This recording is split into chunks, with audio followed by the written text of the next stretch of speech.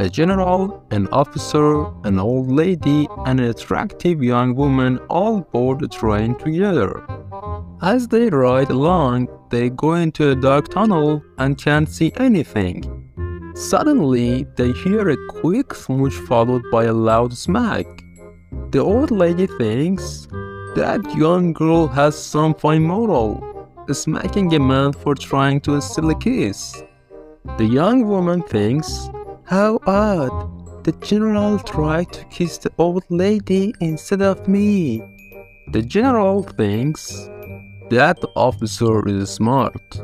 He steals a kiss and I get slapped. The officer thinks I'm a genius. I kiss the back of my hand and get to a four-star general.